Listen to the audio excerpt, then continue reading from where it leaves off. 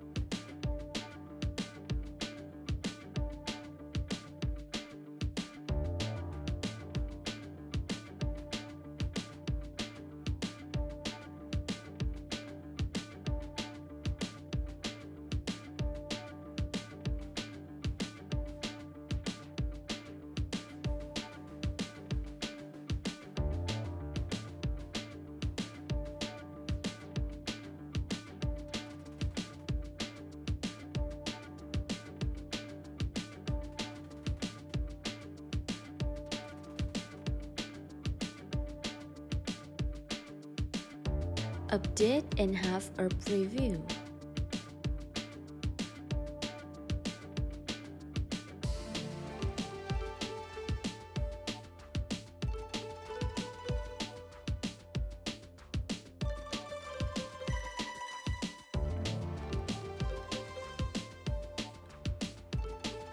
Next, we go to the tip calculator section.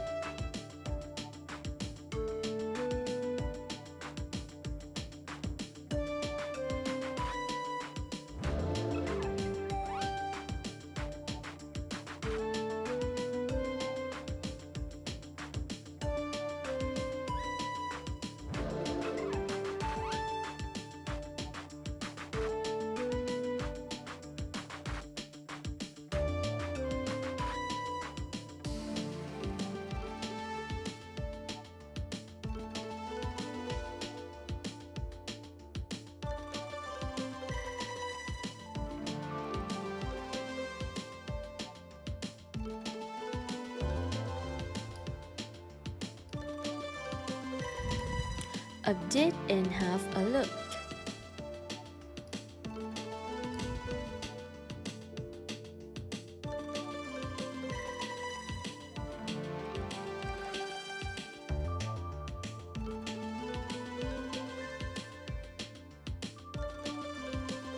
We've already covered two sections.